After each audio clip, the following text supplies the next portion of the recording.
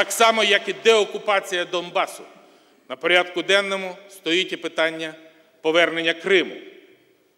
І ще раз наголошую, що ми маємо розпочати процес внесення змін і доповнень до розділу 10 Конституції України, який називається Автономна Республіка Крим.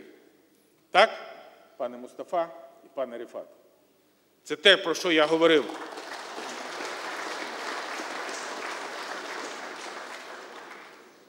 Під час урочистого засідання і буде повторювати разом.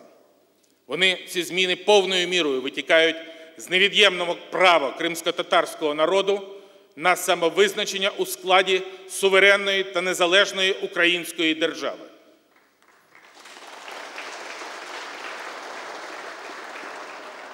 Звичайно і зрозуміло, що з повним гарантуванням рівних прав і громадянських свобод для етнічних українців, росіян та інших етносів півострова.